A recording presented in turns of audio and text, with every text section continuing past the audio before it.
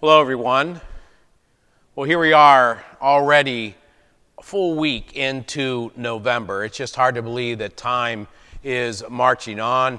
Now, on the heels of All Saints Sunday, a time we remember those loved ones who have gone before us in the faith.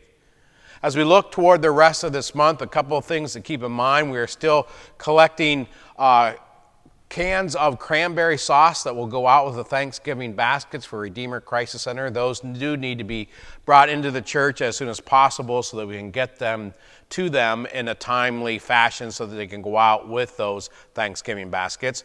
Also, a reminder that on Sunday, November 20th, we'll have our Harvest Sunday, our in gathering of non perishable items that will go to our local food pantry, lend a hand to help people in need as well.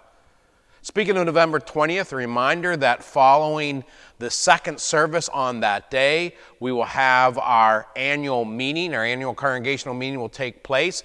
Those annual reports are now available in the narthex for you to pick up and look over ahead of that meeting. Hope you can be a part of that day. Other events coming up.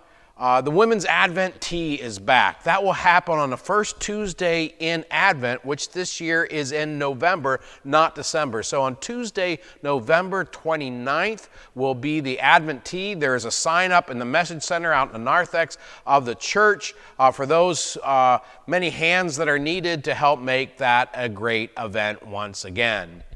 And then that Tuesday, which ha- or then that Thursday that follows, actually on December 1st, will be the men's version, our Advent beer at Pickleworks. More information about that will be forthcoming.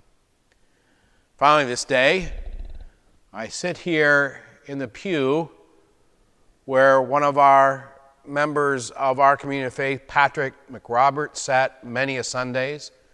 As if you haven't heard by now, Patrick died on Saturday night, this past Saturday night. As of this recording, we do not have details yet of the service for him. We hope to share that just as soon as possible. Patrick did many, many things of discipleship in this place. He will be sorely missed.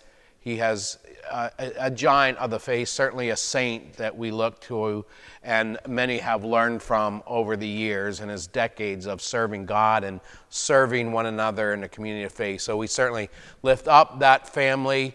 Remember Patrick, and again, more details on that service uh, will come just as soon as they are finalized. In the meantime, take care, dear church.